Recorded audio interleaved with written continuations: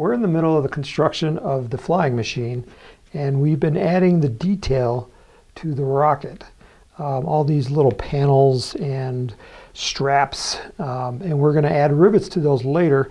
Uh, before I do that, um, I've got the gingerbread glued here to the tube and it's hard to see but it's there. Uh, but I haven't done the nose cone yet. Um, and the reason is these I applied using wood glue. Uh, when I do the nose cone, I'm going to use um, super glue. And the reason is that uh, wood glue is water based and so it doesn't stick to the plastic well, but super glue will. So to, to apply them, first put your nose cone on. Um, and it's going to be important that the nose cone be in the same spot because whenever you put these down, they're not going to be perfect. So to get to get them to line up every time, um, I'm just going to put a line across here on the nose cone, and then I'm going to tape it just to make sure that it doesn't move around on me. And I'll remove the tape when I get to that point. Um, let me do this big one because it's a little easier to see. So I'm going to lay the top part on the edge of the tube, on the edge of the um, nose cone. See now I moved it. That tape was supposed to prevent me from doing that, and it did. I pulled it right off. So it's going to line up just like that. And I'm going to need my glasses. I got a little plastic bag so I can smooth out the super glue. Um, and I'm using super thin, water thin super glue. And I'm going to put it on the surface and then press it down with the plastic bag so it doesn't stick to my fingers. And once I got it one corner down, it's not going anywhere. I can't move it around.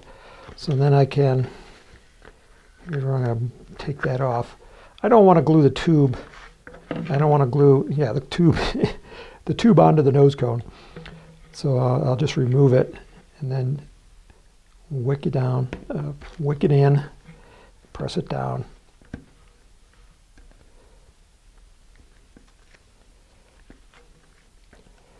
And just keep going around. Enough glue penetrates the, I need a paper towel, penetrates the paper that it will stick down.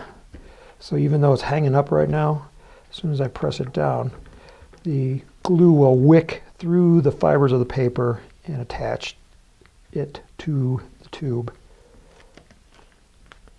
See now it's now it's up, or now it's pressed down. Get that little corner. If you get too much, just wipe it off and press it down.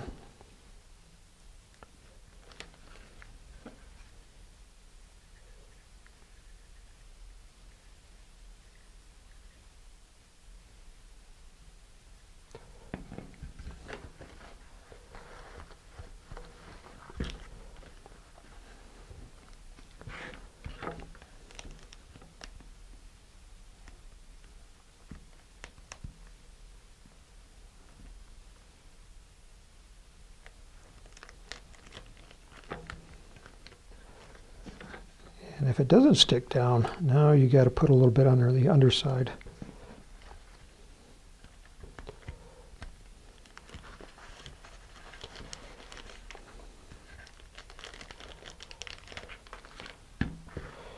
Just like that. So that one's on. I'll put it back into the tube. Line that up. And sure enough, it comes out a line there. Where'd that little piece of tape go? And now I can do the next one. Same process. First, line it up.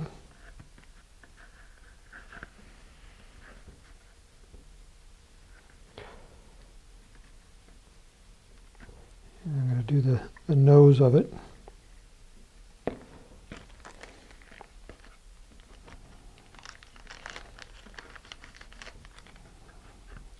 Can remove the tape, slide it out so that I don't accidentally glue it into the tube. and then wick some CA onto it. Let's see if I can do it all in one, one step here.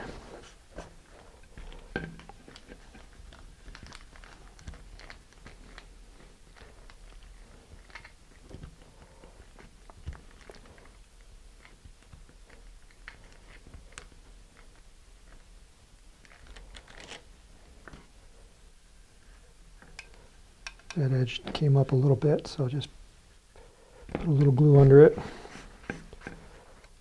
Wipe it off, press it down.